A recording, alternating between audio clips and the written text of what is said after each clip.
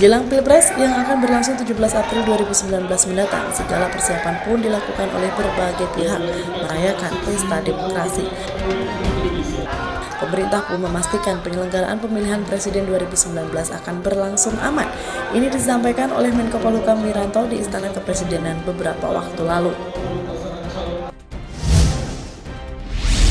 Ya, perhitungan kami dari aparat keamanan dan juga membantu penyelenggaraan pemilu, maka pemilu 2019 akan berlangsung aman.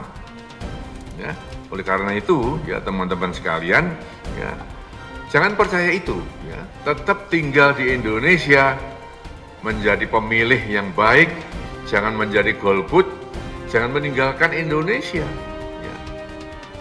Kalau mau bepergian nanti setelah pemilu silahkan, tetapi pada saat pemilu silahkan menggunakan hak pilih Anda. Jangan sampai ya lari dari sana.